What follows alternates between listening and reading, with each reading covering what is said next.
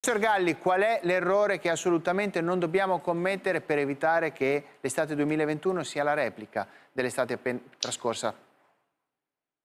Guardi, premetto che non ritengo che eh, avremo un autunno replica di quello dell'anno scorso.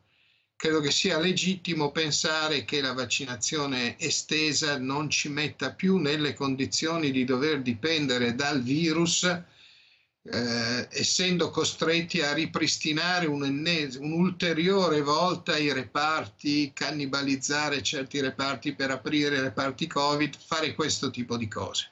E soprattutto non avremo la quantità purtroppo di decessi di malati gravi che abbiamo avuto negli anni precedenti.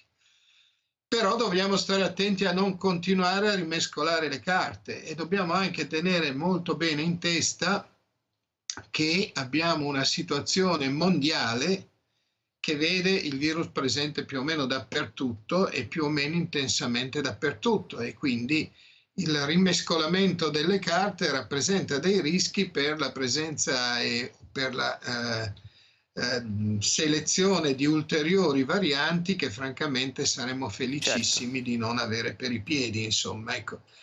Quindi questa è la valutazione da fare e è una valutazione da fare, credo, eh, insomma ci ho pensato a lungo e ho cercato anche di farmi digerire quello che difficilmente avrei accettato di digerire in altre situazioni.